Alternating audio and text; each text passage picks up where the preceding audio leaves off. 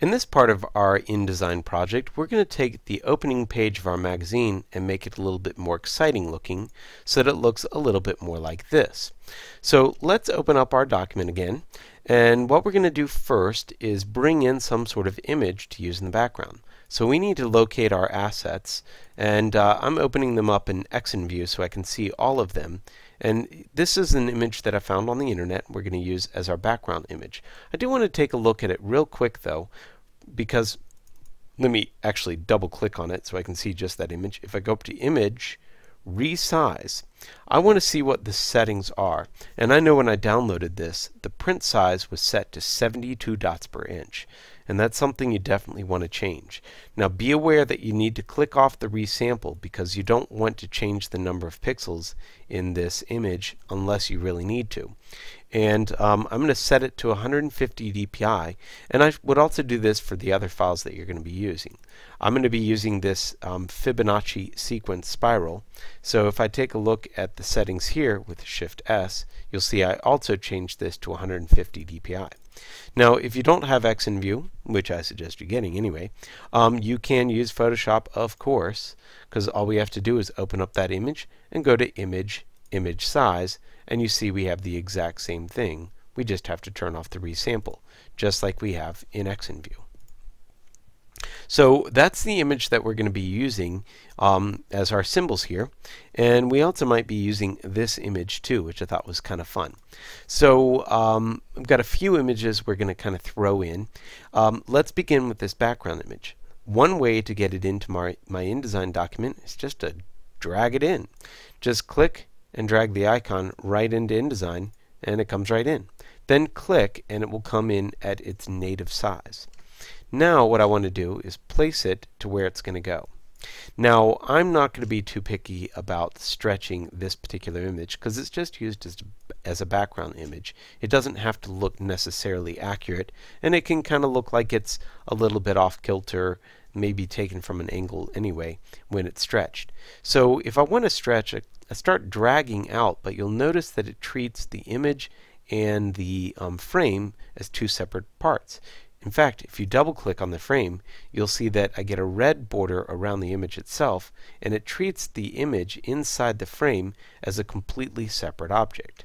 So I'm going to undo that with two Control Z's so I get back to the original. And sometimes what you want to do is hold down the control key and then click on your corners so that you adjust the outside and the inside, that is the outside frame and the inside content at the same time. Now in this case I'm just going to drag this all the way down to the end of the corners and you'll see that this is actually now in top of my text. So what I'd like to do is put this behind the text by right clicking, going to arrange and sending it to the back. The problem with this is that I'd really like to be able to select my text, but I don't really want to select this image in the foreground or in the background at all. So here's where we definitely should use layers. Now for this all we have to do is create a new layer and then let's go ahead and give that layer a name by double clicking on it and we'll call it background. Now with this layer all I need to do is take the selected object and it's indicated by the selected item, that blue item, drag it up to the layer that I want it to be on and then drag that underneath so it's at the right place. Now I just need to be aware which layer I'm on when I'm working and of course I can lock the background layer if I don't want to be adding anything else to it. But for right now we are going to add some other things. I'm going to begin by, uh, the next thing I want to add is the um, PNG of the Fibonacci sequence. So I'll go to File, Place, and this is just an alternate way of doing it. So here is the Fibonacci sequence right there. So I can click and you'll see that it comes in at its native size, which is not great size, but you know I can play with it a little bit. So I'm going to just scale it up a little bit. And this time I held down the control and the shift key together because I definitely don't want to stretch that because it looks awkward when it's stretched. But I can at least make it a little bit larger. Maybe move it over just a little bit. I'm going to actually have that line kind of go off the edge. All Now, let's make sure that's on the background, and it sure is.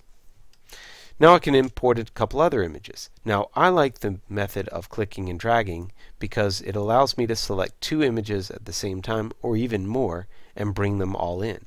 So I'm going to select these two books and click and drag them into the InDesign document over to the side and then just click and each document will come in at their native size.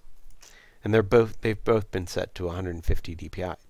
Now I also love InDesign for the fact that it automatically snaps different objects to each other, which is really, really excellent.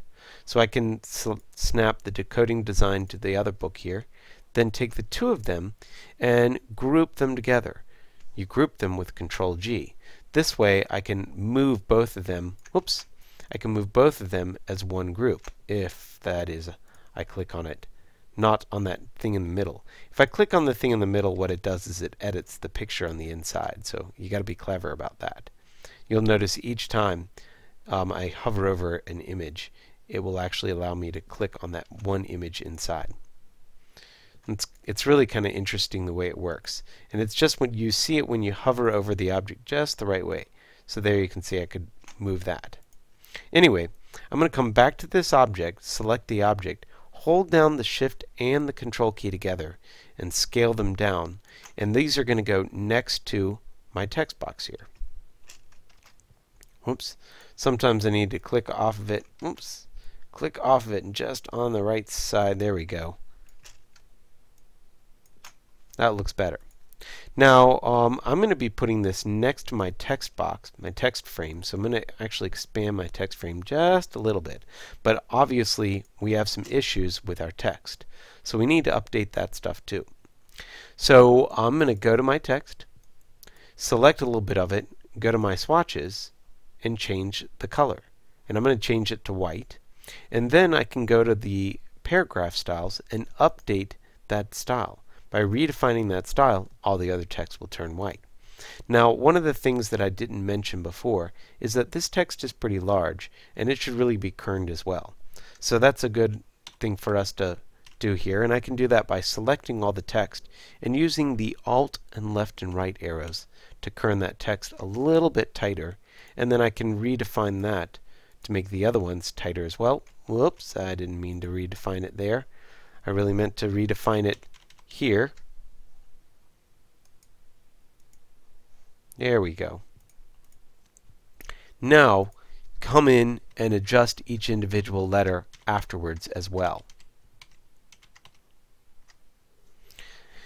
And I would definitely suggest that you get up close to your work and even go to the preview mode so that you can see a better quality preview of how that text actually looks but you want your kerning to be pretty tight on your large text.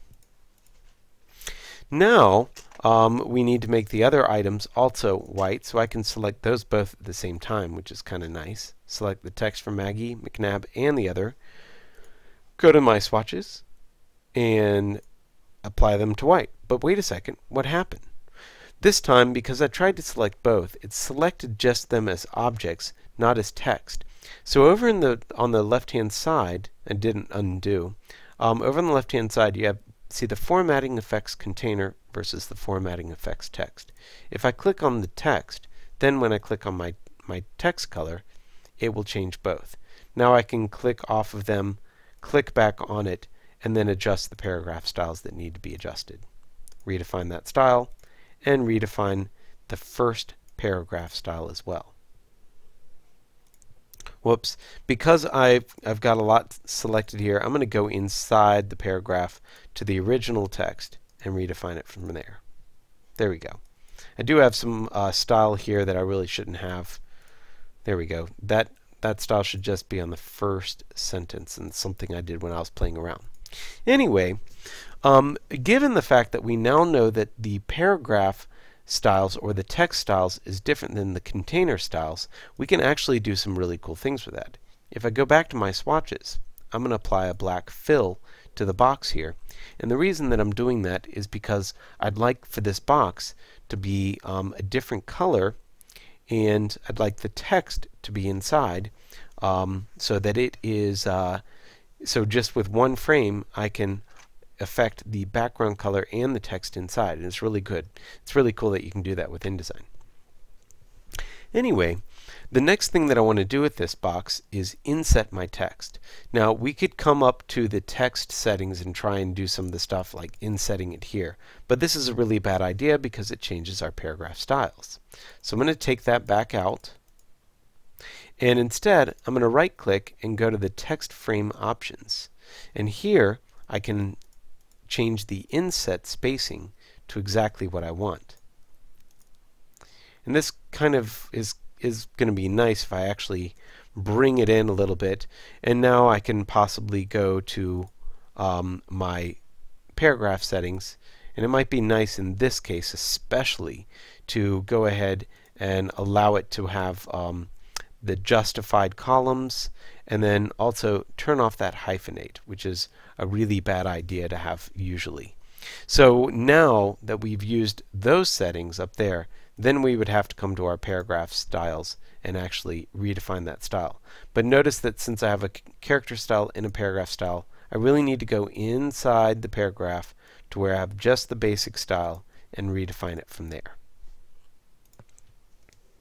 Then, with this particular box, um, we could define that as an object style if we really want to. I'm not going to worry about it right now because in this tutorial we have really done a lot to change the way our design looks.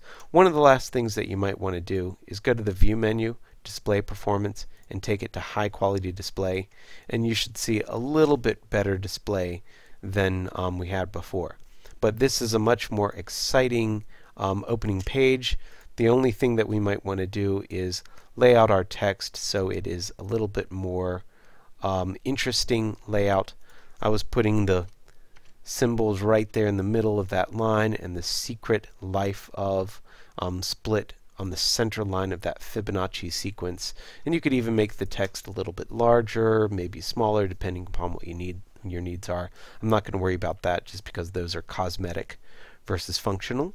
And uh, we're going to go on with the next tutorial where we add a, a little bit more graphics over to the right hand side.